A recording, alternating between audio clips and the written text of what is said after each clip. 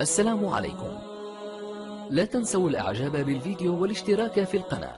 تشجيعا لنا لنستمر بنشر المزيد إن شاء الله. إن أعجبك الفيديو لا تنسى الإعجاب والاشتراك في القناة.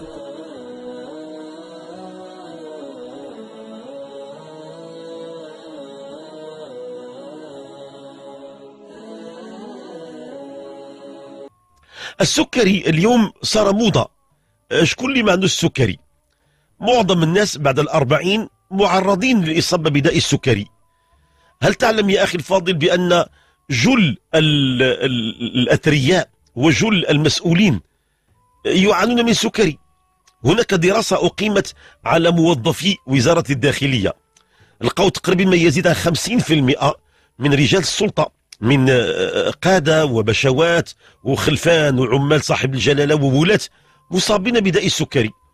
والسبب يكون دائما هو الضغط في العمل وقلة أوقات الراحة وعدم الرياضة وعدم شرب الماء وغيرها.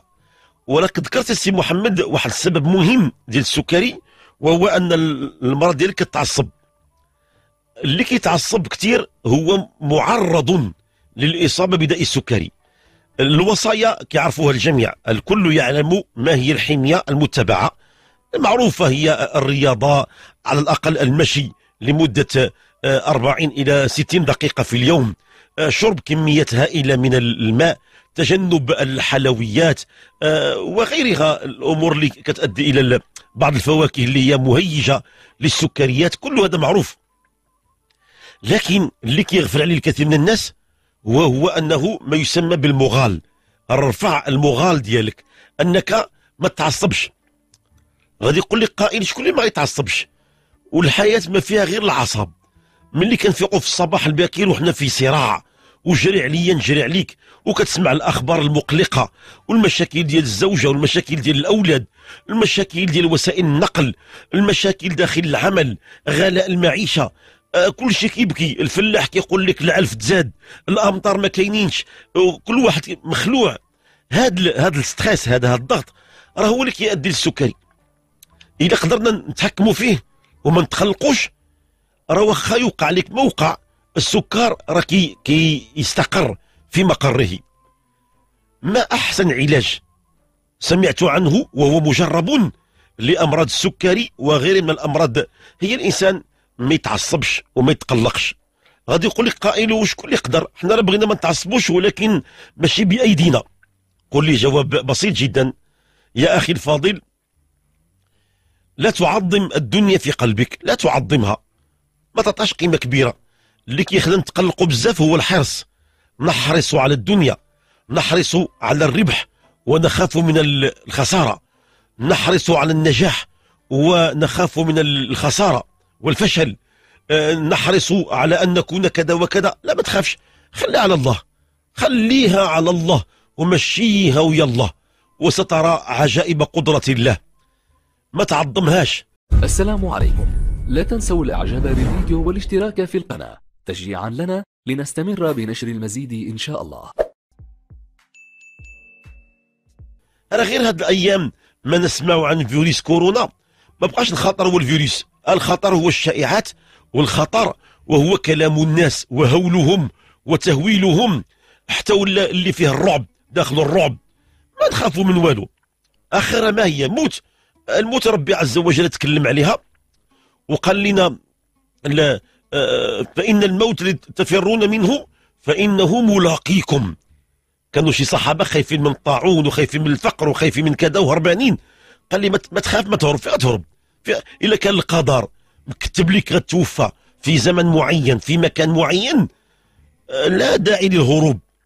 فإن الموت الذي تفرون منه فإنه ملاقيكم. أنت هربان منه من هاد الجهة. هو راه كيتلقى لك من هاد الجهة.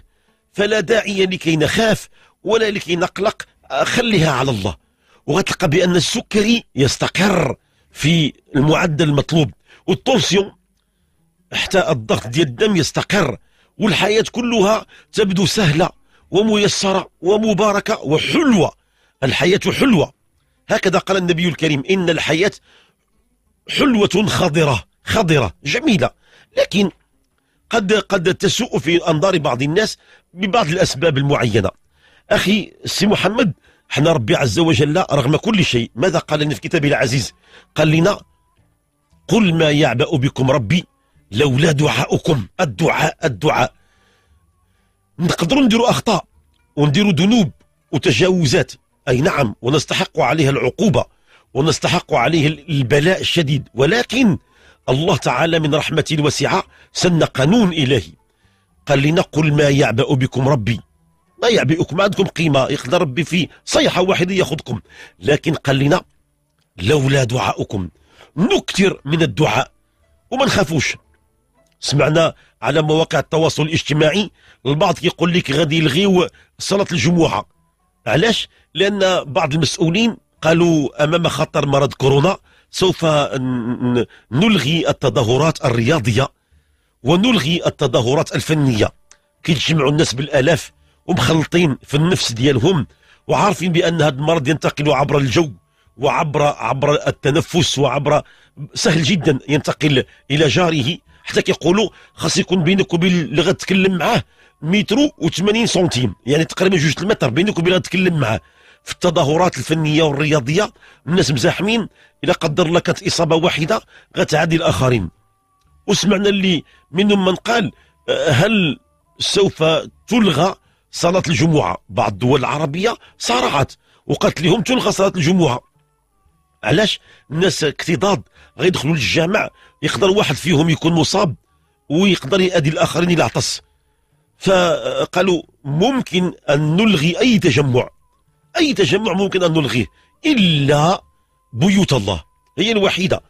العقلاء هم يفهمون حقيقة الدين وحقيقة ما يقع. ممكن أن ألغي التظاهرات الرياضية ألغي التظاهرات الفنية ألغي الجلوس على المقاهي ألغي حتى الجلسة البرلمانية والحكومية. ممكن ألغيها لكن شيء واحد لا ينبغي أن ألغيه وهو الصلاة في المساجد. بالعكس هذه فرصتنا أن الخلق يفرون إلى الله يذهبون إلى المساجد في الصلوات الخمس ومع الفجر وخصوصا يوم الجمعة ويكتضون ويبكون على الله تعالى فيرفع الله العذاب يرفعه الله تعالى. إحنا عارفين بأن ربي عز وجل هادشي كله غير اختبار. اختبار ولإعادة البرمجة ولإعادة الدين من جديد ولتصميم نظام عالمي جديد. هادشي اللي كيوقع غادي يوقع بأن هناك نظام عالمي جديد بمقاس إلهي. ماشي بمقاس الدول العظمى. الدول الإمبريالية أو الدول اللي عندها ترسانة عسكرية أو عندها تنين اقتصادي. لا غيكون برمجة إلهية ربانية. فما يقع كله في خير. حتى لو كان فيه بعض المضرات لكن فيه خير. لأنكم لو اطلعتم على الغيب لعلمتم أن ما فعل ربكم إلا خيرا. يقع اللي يوقع حاجة وحدة كنوصي بها نفسي وأحبابي الكرام كلهم.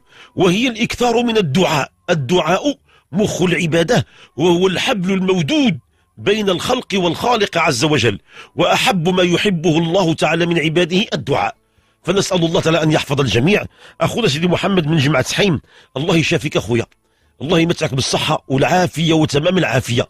وأسأل الله أن يشافي زوجتك وأن يرزقها السكينة ويجمع بينك وبينها. أنت مهاجر ومغادر العائلة وكتقلب على لقمة العيش. أسأل الله أن يغنيك من فضله. ويغنيك من جوده حتى تعود إلى إلى إلى إلى مسقط رأسك مع العائلة أو تجمعوا معك هنا في الدار البيضاء.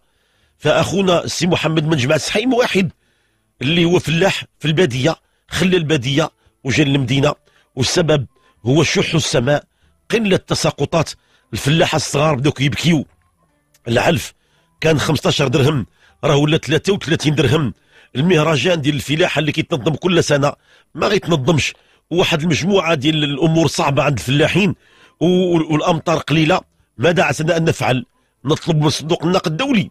نطلب من منظمة الصحة العالمية. راه كلهم كيبكيو وكلهم كيشكيو. ما بقي أحد يستحق أن نطلبه سوى الخالق عز وجل وحده لا شريك له. لكي يحقق فينا عقيدة التوحيد. فاللهم يا رب يا كريم يا رحمن يا رحيم يا جواد يا كريم. اللهم أغيثنا. اللهم أغثنا وأمطر علينا أمطار الخير وشافنا وعافنا وارزقنا رزقا حلالا طيبا. اللهم يا رب اغفر لنا وتب علينا واسترنا وكن لنا وليا ونصيرا. قولوا جميعا آمين. آمين آمين يا رب يا كريم. السلام عليكم ورحمة الله وبركاته. يا طيب كريم عليكم السلام ورحمة الله. مرحبا بك مولاي. آه بغيتك تدعي معايا. طيب كريم لأنني مريض عندي السكرية كنعاني منها. لا إله إلا الله. كثير. وكنت نتبعك وتتبعك مادام عندي أنا دابا مهاجر خدام في الدار البيضاء وسكنة عندي في جامعه الحين وكتتبعك هي مريضة وبقات تداعى وتداعى تتشافات وبقيت أنا بغيتك تداعى معايا. يا ربي يا خويا يا ربي. راه ما ما تنعس حتى دير الدعاء؟ وتنبقى نقول يا ربي آمين يا ربي آمين. يا رحمن يا رحيم. الله الطيب كوريان لا قرصت عليا بزاف سيدي محمد السكر عندك آه، شحال تقريبا كيوصل آه توصل حتى لجوج غرامات ماشي خطر هذه الحمد لله ممكن. خدام ديما عندي ثمانية عشرة. لا إله إلا الله. الله يشافيك مولاي الله يشافيك ويعافيك بغيتك تدعى معايا أنا وليداتي مادام. هي تكون عيانة شوية تتعصب وتتعيا. لا إله إلا الله. الله يشافي ويعافي سيدي محمد. شكرا لك مولاي شكرا لك. لا حول ولا قوة إلا بالله العلي العظيم. آه، قلوبنا مع أخينا محمد. سيدي محمد كيقول لك الوقاية خير من العلاج. هو ما يسمى بالطب الوقائي أو الطب الاستباقي. الخطر إذا كان قادم فلا بد للإنسان بما أعطاه الله من عقل وما أعطاه من قوة إرادة وعزيمة يستبق الأحداث ويوقي نفسه. السلام عليكم. لا تنسوا الإعجاب بالفيديو والاشتراك في القناة. تشجيعا لنا لنستمر بنشر المزيد إن شاء الله.